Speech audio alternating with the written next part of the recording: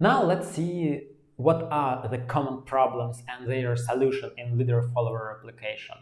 One of them is how to set up a new follower, because we have a system which constantly accepts writes, and we have a fresh follower which doesn't have the data.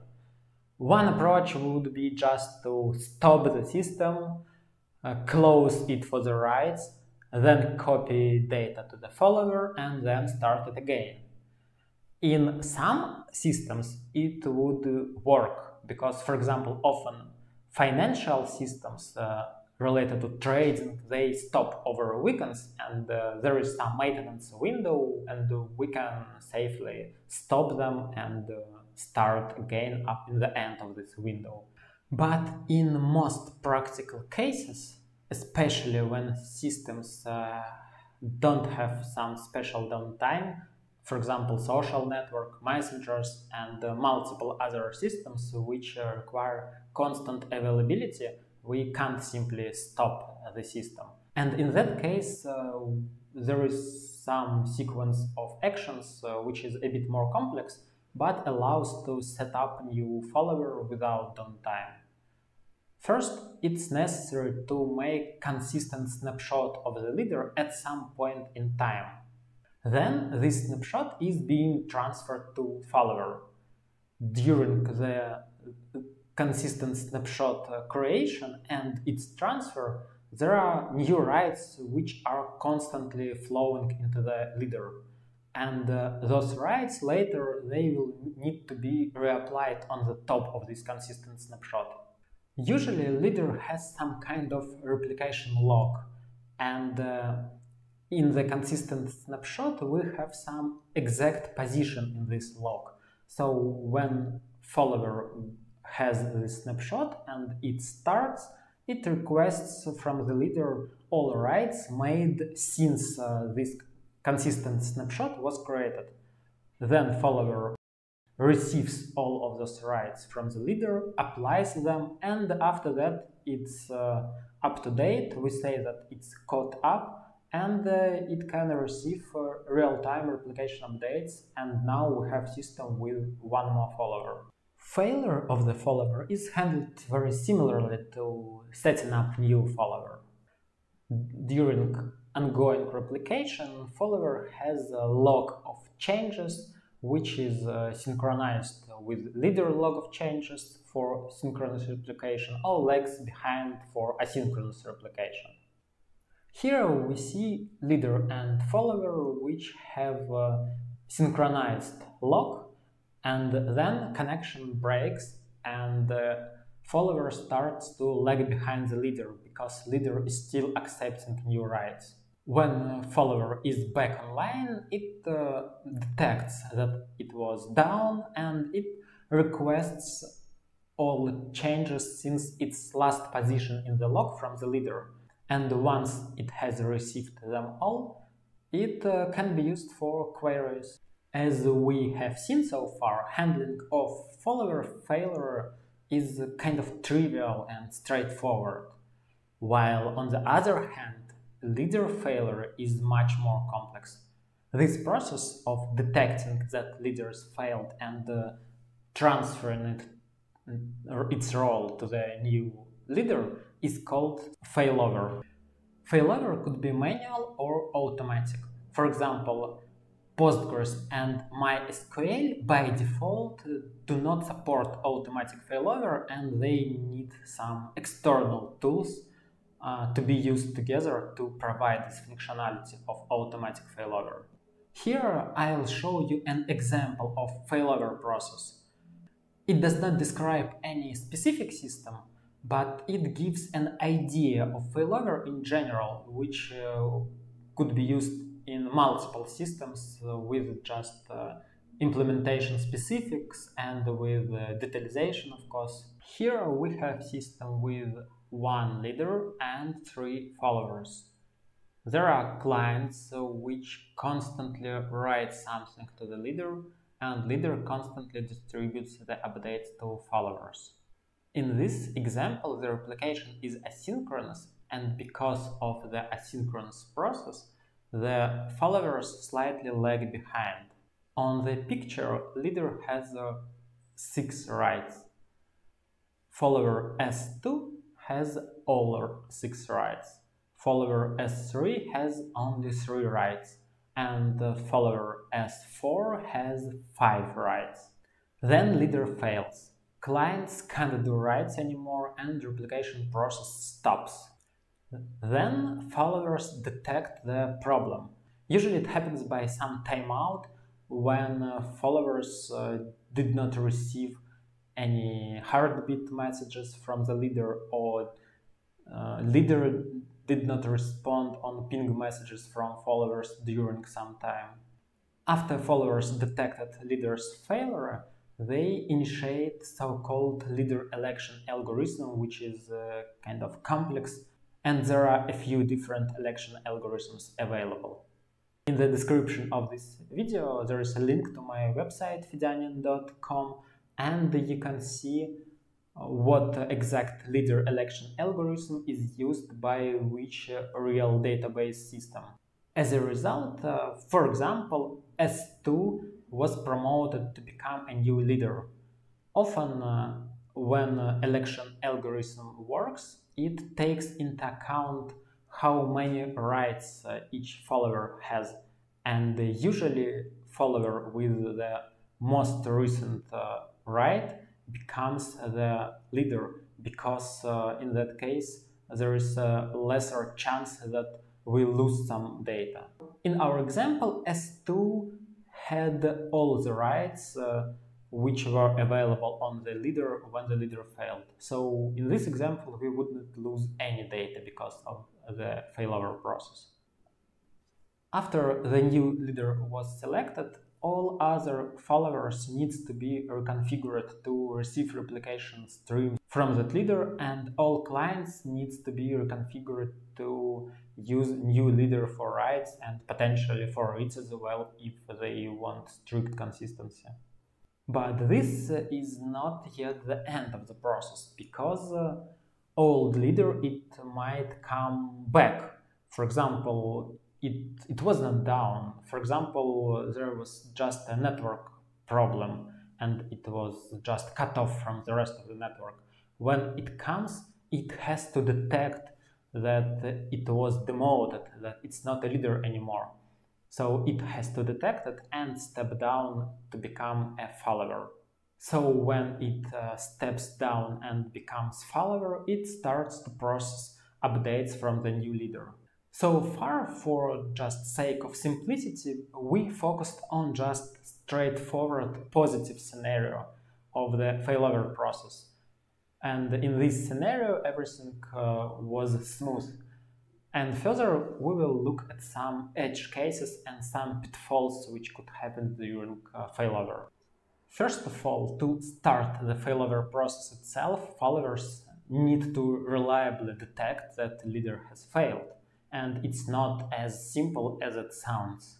We can classify all types of failures into several categories. Crash failure happens when leader worked properly and then suddenly stopped working. But before it stopped, it worked uh, without any problems and behaved in an expected way. Omission failure is when server is up and running but it can't uh, receive or send messages, so it effectively seems like it's down, but it's really not. Next level of failure is timing failure. In this type, server is up and running, it can receive and uh, respond uh, on the messages, but it's just doing it so slowly so that uh, those responses they are out of time. And uh, because of this for other parties in the network it seems like it's it's not uh, working response failure is more tricky in that case server responds and it uh, does it within the timeout but responses are wrong they can contain incorrect structure they can have some misleading information or they can be seemingly correct, but they are out of uh, predefined uh, flow. They have some logical error. And arbitrary failures, they can result in any kind of behavior at any time. So it's unpredictable, totally unpredictable. Failures from the top of the table are easier to detect, and failures from the bottom of the table are hardest to detect. Normally, in leader follower system, we would be able to work only with the first three types of failure, and uh, strictly speaking, we wouldn't be able to distinguish between them. Basically, unknown failure detectors work based on timeouts when parties in the network they either expect to receive some heartbeat messages or they actively ping their counterparties and if uh, they don't receive any message from the counterparty within some specified timeout, they will consider it to fail. There is a hard question on what timeout to choose because if we choose short timeout, it means that system will remain in an available state for short time and start recover quickly. But on the other hand, if it was just uh, some false alarm or temporal network glitch, it would lead to some unneeded uh, failovers and uh, it will be ineffective.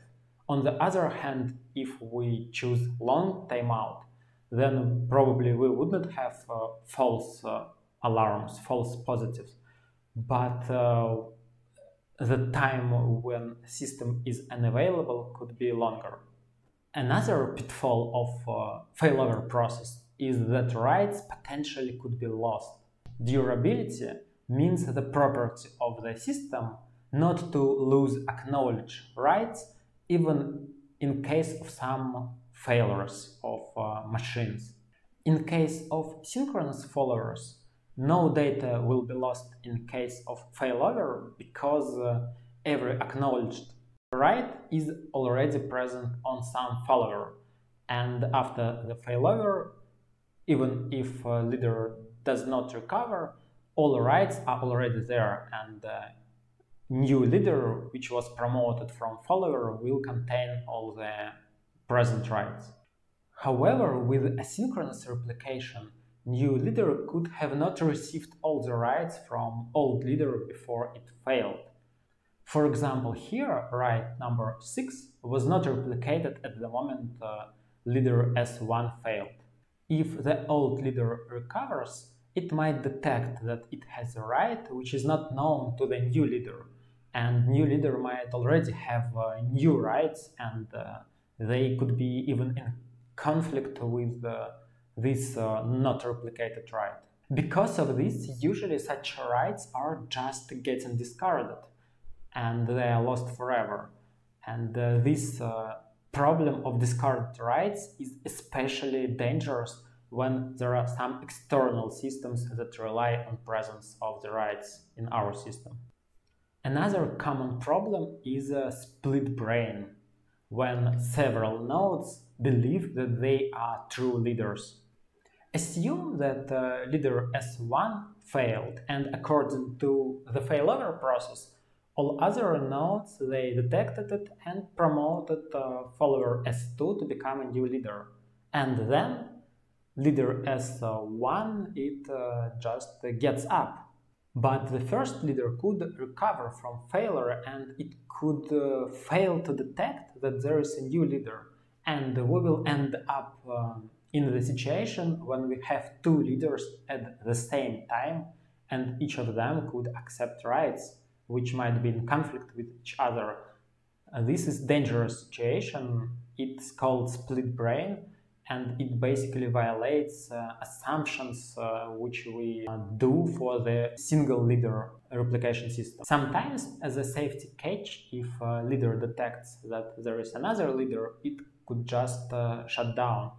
But if it's not carefully implemented, we could end up in a state when both leaders have shut down and uh, we have system without leader which can't accept writes. There is no easy and straightforward solutions for those problems and each system solves them differently and sometimes people even prefer manual failover in some specific cases. With this, we conclude uh, introduction to leader-follower replication. And here I'd like to provide some related topics, uh, which are logical steps to proceed further with the research of this topic. First one is how to implement replication stream. So far, we just said that uh, we have a way to transfer data from leader to follower to organize kind of replication stream, but there are, in fact, there are different methods how those replication streams could be implemented.